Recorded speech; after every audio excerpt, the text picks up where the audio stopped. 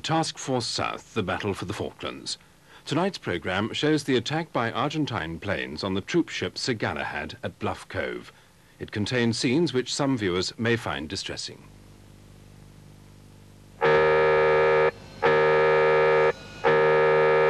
Harvest to dawn action stations. Harvest to dawn action stations. Assume MB State 1, condition zero. not allowed to say how many planes joined the raid, but I counted them all out, and I counted them all back. Target 01, command approved. Call for fire, zero one. engage. Engaging.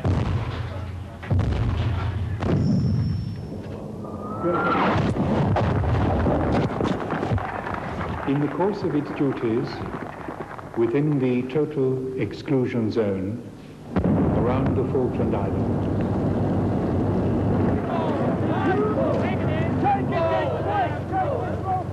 Bring to resurrection with all the saints. The bodies of these our brothers. In the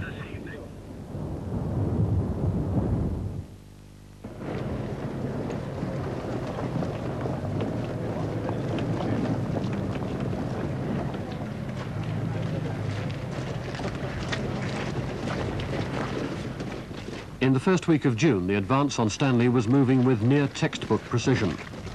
The large numbers of prisoners taken at Goose Green were a drain on the limited British resources, but it made for a lot of men who would not have to be fought again.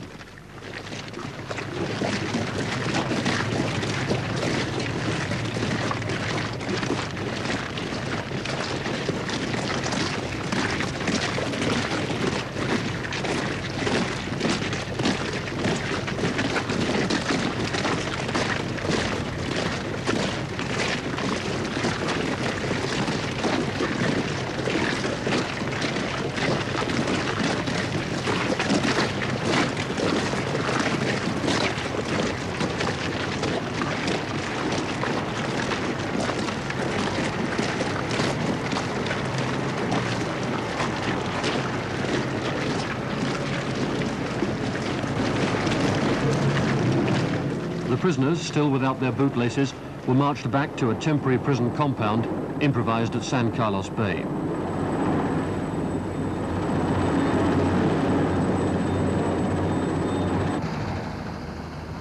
They were warned that although it was their duty to escape, they'd be shot if they attempted to.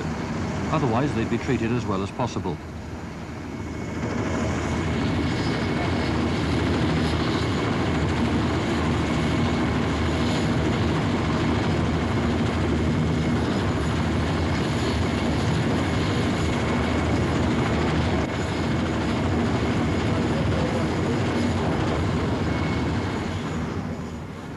Little shelter, just a few tents between them, but only a few days to wait, watching the British build up before they were sent home. 250 of their countrymen would not be returning from the battlefield at Goose Green. Bring to resurrection with all the saints the bodies of these our brothers, which in their frailty we now bury. May God unite their souls with those of all the saints and faithful departed. The bleak burial service around a waterlogged grave was attended only by the three senior Argentine officers and the British Brigadier Tony Wilson, who had now been put in charge of the southern flank.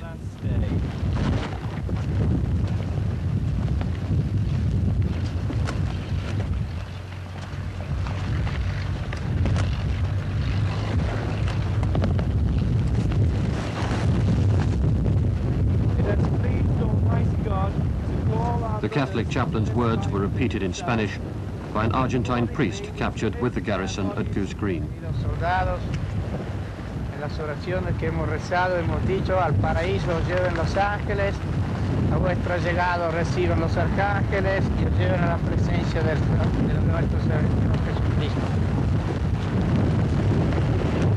Edwards.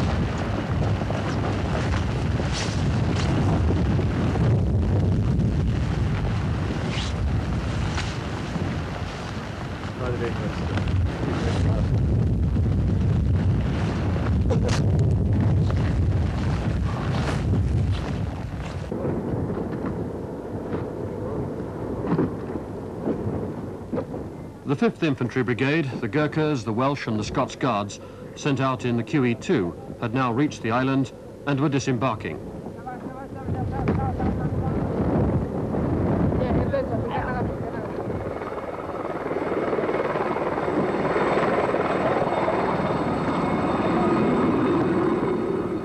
The Gurkhas, anxious for honour and medals, were eager to be moving forward.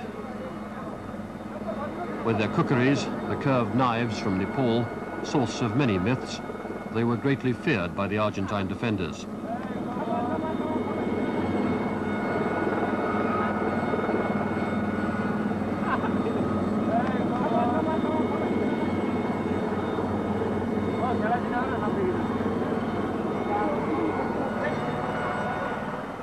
bit more on the chin. What, uh, what else? Uh, on the nose. And your left cheek. Cheekbone rugby ball. Correction.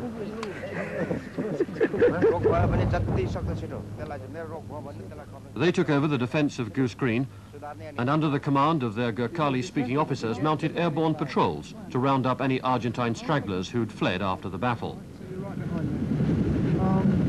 Um, go. We'll go down the centre, as you said, and we'll go over Sea Line. And the Sea Line now will stop and look at, at um, Enby Point. We'll then go to Enby Point, we'll look at the hill. I will go to the hill. The hill will look at Lively Settlement. By this time you should be catching me up. Um, and if Lively Settlement's clear, we'll all go into Lively Settlement. Drop off the infantry. We will then come down with, empty, with just the aircraft board and we will check the east coast of Ivy Island. respectfully make a further suggestion. Sir.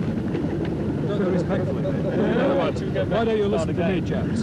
Um, the latest aircraft... The Army helicopter pilots, Teeny Weeny Airways as they were known, were briefed on where the Argentine troops had been seen. Mostly they found only abandoned arms and empty tents fluttering in the wind. You pick up the infantry and then you bring them home, refuel, come back to rebrief them to the other, the other area.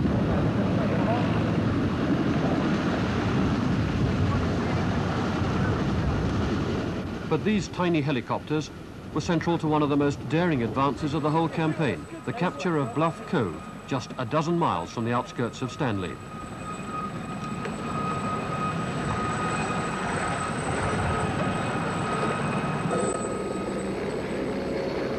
Brigadier Wilson explained how he'd seized the opportunity to leap forward.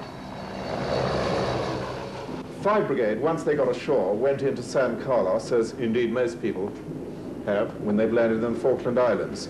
And as you well know, I had two para forward at that time, who, under command of 3 Commando Brigade, had taken Darwin and Goose Green. What I wanted to do was to get a battalion forward to relieve 2 para at the earliest opportunity, and I fed the 1st 7th Gurkha Rifles forward then. As soon as the 1st 7th were in Darwin, Goose Green and building up on the ground, it gave me a battalion in my hand which I could use and do something else with.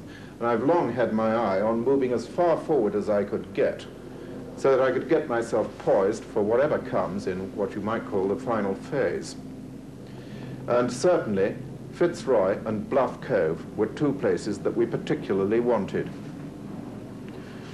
Talking to all the locals around Darwin and Goose Green, we had heard that in a house here, Swan Inlet House, there was a telephone, and that for some extraordinary reason, the line was still intact between Swan Inlet House and Fitzroy or Bluff Cove, and that if we could possibly get to that house, we might well be able to discover whether there were any enemy in Fitzroy or Bluff.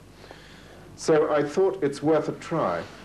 What we've got to do is to get somebody up to that house and see if that's true.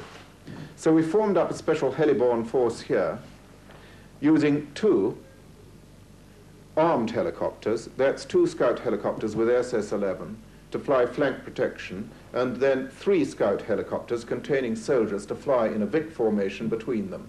And I told two para that I wanted them to fly up low and get into Swan Inlet House, as it were, seize the house, it puts it dramatically, but you know what I mean, and having got there, it sounds anticlimactic, make a telephone call. And this was Wednesday afternoon, about the middle of Wednesday afternoon. At that time, the clouds were starting to roll down on the mountains to the north, and that's a good advantage because there's an OP up on Mount Usborne, and we suspected there was another enemy OP on Blue Mountain, and we didn't know what was further forward, and I certainly didn't want interference from any of them. Well, the heliborne force went off, got to Swan Inlet House, and incredibly found a telephone, picked up the telephone, dialed Fitzroy, as it were, and Bluff Cove, got through, and somebody answered. Well, they just said it was the British Army. And had the phone been ringing very much before then? Not really. So you're a bit surprised to have it ring at all? Well, I didn't expect to hear them on there. Did you say anything to them? No, they asked me if the Argentines were here, and I said no, and then I went and got Dad. I was down in the kitchen and when Michelle burst straight through the, the door and said, the British are on the phone, you know. And I still couldn't really believe it. No one sort of thought she was joking. So I came in and uh, answered and they said, yes, the British Army. And uh, I said, that's great, Neil. Where are you? Of course, they wouldn't tell me. They said, we're still in the Darwin area. But um, I knew they were fairly close because they were quite late on the phone. Mm -hmm. So what did they ask you? They asked, uh, was there any Argentines in the area? And uh, I told them that they'd pulled out the day before after they blew the Fitzroy Bridge. And um, they asked, was there any at Bluff Cove? And I said, well, there wasn't. They all pulled back past there. And they said, fine, we'll, we'll be seeing you later. So again, we formed up a heliborne force, and this time we had the two armed helicopters, once again, flying flank protection. We had a single scout flying as pathfinder ahead of the group, followed by two scouts, which had then LS parties, in other words, armed soldiers, ready to leap out and fan out on the ground and secure the landing sites for any other helicopters to come in. And five minutes behind, that is in time, we had our one faithful Chinook, which magically at that moment had fallen into my hands. It had arrived for some other task, and we grabbed it. And we shoved as many soldiers as we could into that Chinook, more, I dare say, than the makers ever intended a helicopter should carry. We had two sections of 81 millimeter mortars. We had Milan missiles. Every single soldier carried four mortar bombs.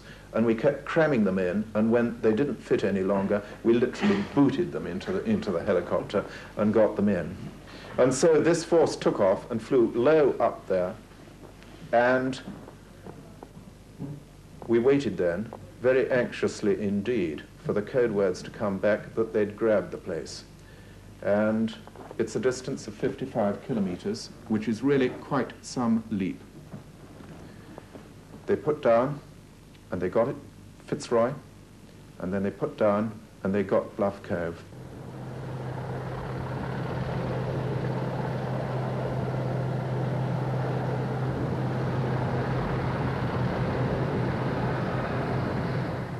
The importance of the small settlements at Fitzroy and Bluff Cove lay in the bridge that linked them. The last bottleneck on the road to Stanley, it was now firmly in British hands. The urgent need was to get more troops up to them. Helicopters were in short supply, desperately so after Atlantic Conveyor was sunk. The lack of them was slowing the whole advance. The Gurkhas started off walking, but there wasn't time for the whole brigade to march to the front, even if they could. Every possible means of transport was pressed into service. The flag of the 5th Infantry was hoisted over the Monsunen, an old island trader which was used as a big landing craft. With a company of Gurkhas and as many stores as could fit into the hold, she set off for the six-hour voyage along the coast to Bluff Cove.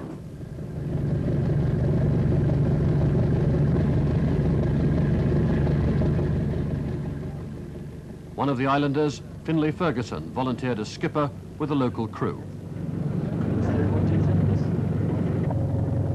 Along the way, she passed the Islas Malvinas, an Argentine patrol boat which had been shot up by the Sea Harriers during the blockade.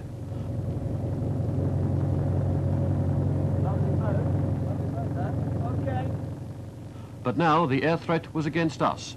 It was our turn to be worried about air attack. Gurkhas are tremendous realists. They just accept things for what they are. They know why they're here. Uh, they know what it's all about, and they'll just accept the country for what it is and just get on with surviving in it and living in it. They've been digging their own holes to go into? Yes, we've been. We walked all the way from San Carlos down to Goose Green, which took several days, and each day, each night, we were setting up in a new position, digging a new set of shell scrapes, uh, sangers, and preparing ourselves for defence of ourselves. So they're getting used to the, uh, the routine, basically.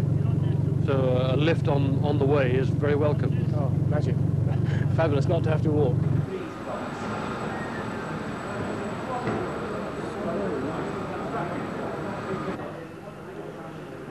Ahead of us, the brigade headquarters was being set up in a barn. The maps were being marked with the dispositions of the enemy. The final plans for moving the last dozen miles to Port Stanley were being laid. The end could not be far off. The desperate need was to get the men up to the front. They were being brought round by sea and slipped ashore at night. But for their equipment, ships would need to come in and anchor.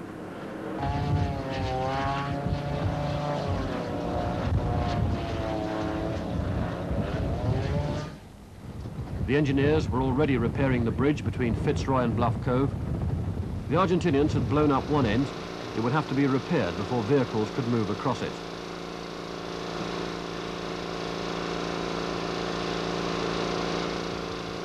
But the retreating troops had only had time to destroy one pair of supports, and the work was well advanced. Even the mines left in the rubble hadn't slowed things up.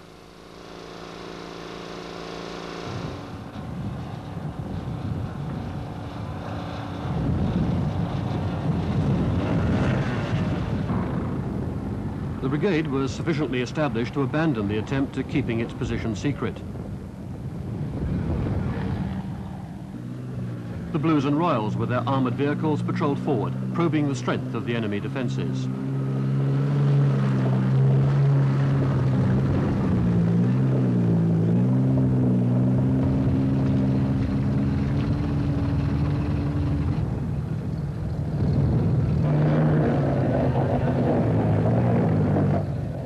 Two support ships had arrived and started by unloading anti-aircraft defences. But luck went against them. The mountain mists which had obscured the Argentine observation posts cleared that day, and the Argentine Air Force, dormant for nearly 10 days, struck a final blow.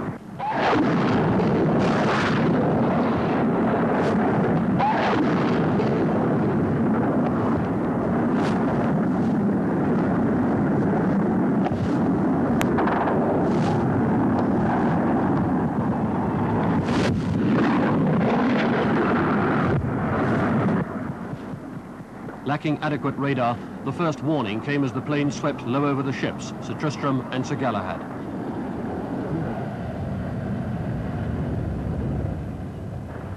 The anti-aircraft missiles were not yet effective. Both ships were hit. Sir Galahad was immediately in flames.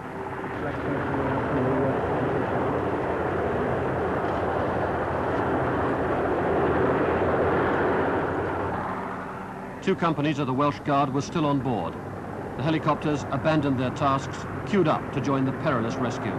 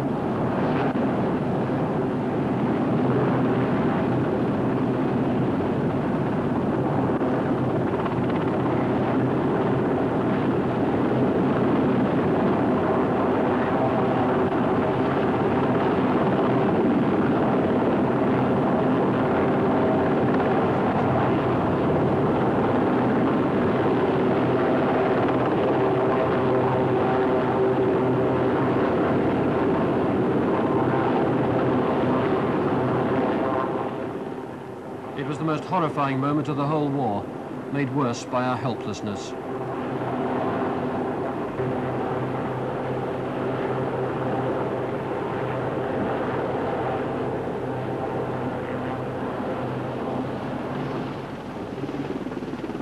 There was nothing that we could do except wait with the medical teams on the cliff tops.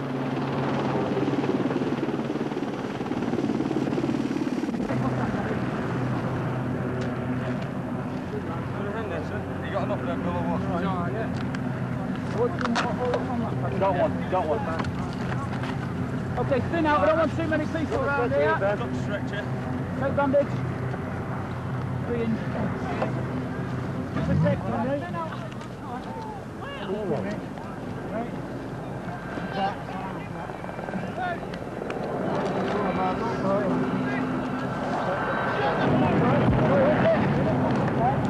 Right,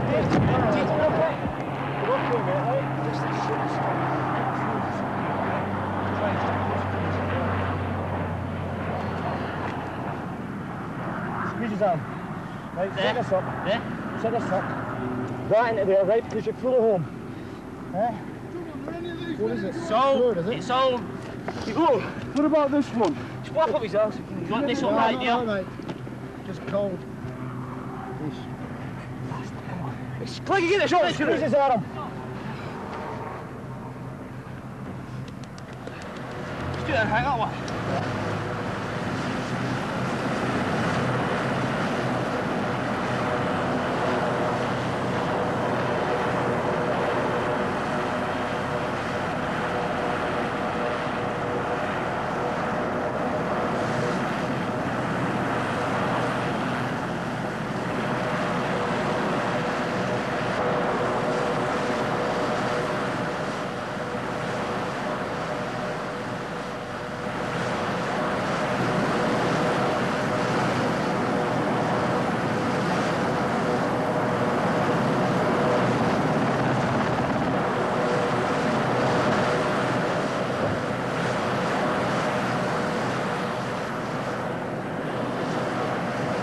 Of the life raft started to drift back towards the ship.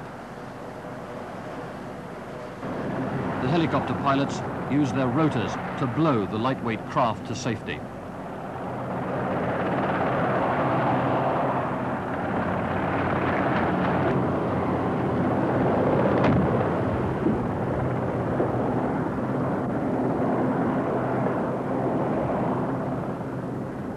Every boat and landing craft went out to help. The unanswered question was why hadn't they been used five hours earlier to get the men off as soon as they'd arrived? Apart from the 400 soldiers, each ship had a crew of 68, many of them Chinese.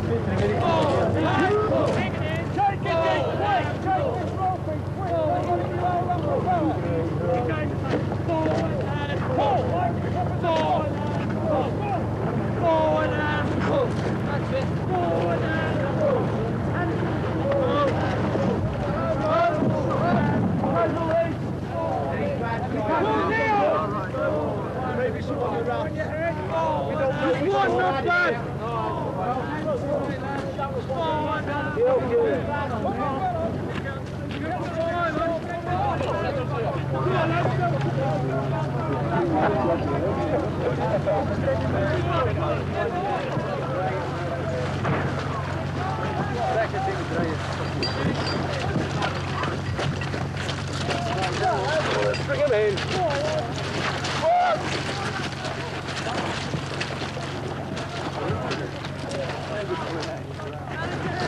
She's coming, she's coming. Okay, lads, you've got people pulling you in.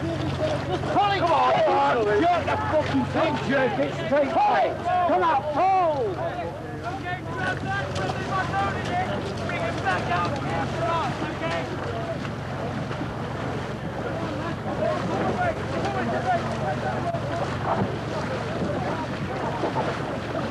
Next time I want to travel, I'll go to Blackpool.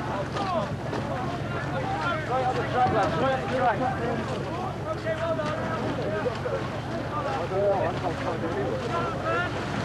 Woody! Woody! Over there, Woody. Right on that track there, lads.